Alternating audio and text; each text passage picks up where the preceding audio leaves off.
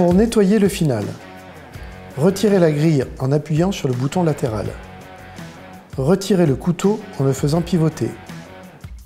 Nettoyez l'ensemble à l'aide de la brosse fournie. Réinstallez le couteau et la grille. La grille étant très fine et souple, ne pas appuyer trop fort à l'utilisation pour ne pas risquer de l'endommager. Pour rappel, pour garantir son efficacité, le final doit être utilisé sur des poils de 0,5 mm maximum après passage d'une tondeuse de finition.